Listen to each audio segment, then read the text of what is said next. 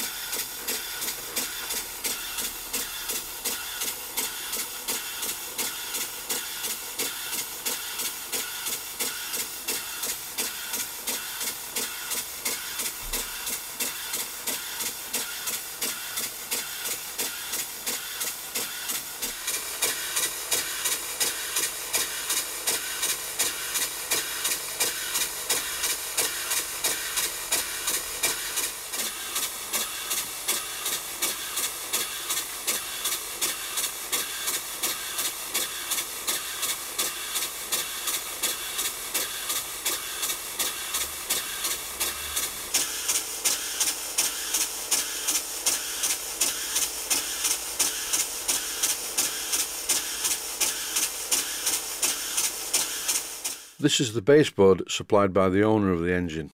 The engine should look really good as a centrepiece on this baseboard. First of all though, I need to look at the layout. The baseboard is 80 centimetres long. Obviously the engine's going in the centre, but I have to fit the boiler to the right hand side of it. And to balance it out, on the other side of the engine, I'm going to fit the condenser and a water tank.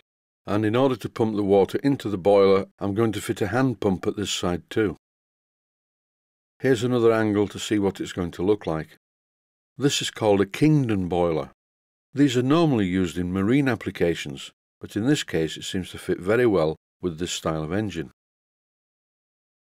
I intend to fit this displacement lubricator which is smaller than the normal type, because somehow it matches the fine scale of the model. I will need to modify the existing piping, which is a bit of a rat's nest anyway, and make a special T-piece to allow me to fit the lubricator into the steam line. There are two steam unions on top of the boiler and I described these in the video about this Kingdon boiler. This one is the steam outlet after the superheater, so this is where the hot steam comes from. And this is the exhaust inlet to pipe the exhaust up the chimney to draw the fire. This is a dual fuel boiler and I've run it on coal as well as gas. This small valve nearest the camera is the blower valve, but this won't need to be used because it's going to be gas fired but a blower is very essential if you have a steam boiler running on coal. I can't say much more in this first video. The only thing missing is the hand pump and I will go up to Blackgates Engineering later today and buy one of those. So I'm going to finish this first introduction video with the engine running. Thanks for watching and I hope you found it useful.